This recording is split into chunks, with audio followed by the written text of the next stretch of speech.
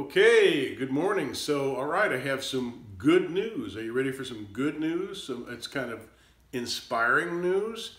Yeah, here's here's a, an interesting story.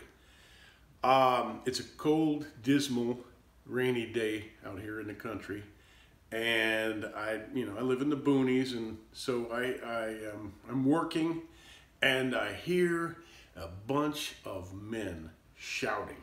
Okay, so uh, that's not something I'm used to hearing out here. I quickly armed myself. Yes, yes indeed. I grabbed my gun, I don't know if you can see that, and made sure I had ammo, a nice full magazine, and out I ran. I wanted to quickly investigate, find out if my any of my neighbors were in, in harm's way or anything like that. And uh, I found an army. Yes, I did. So here is the happy ending to this story. Check this out.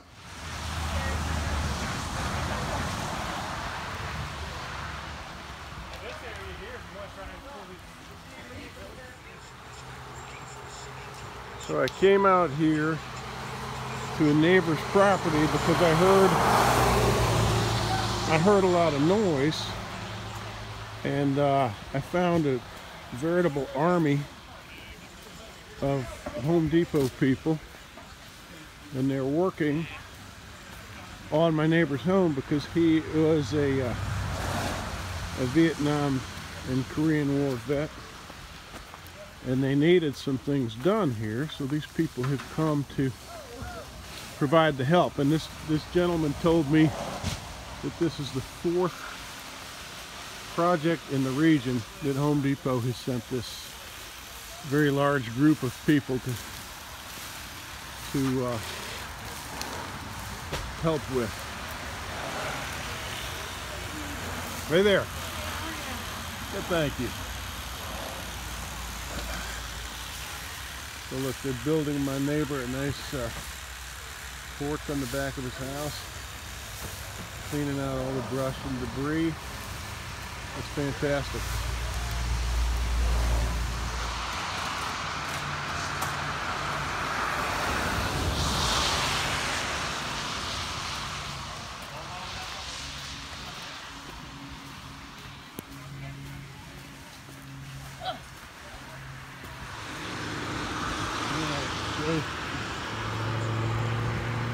Yes, sir. You never know where they're going to strike.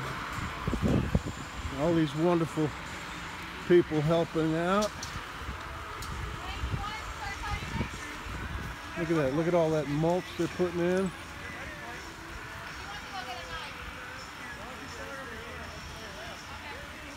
Just awesome. Somebody's vaping over there. Look at all these cars.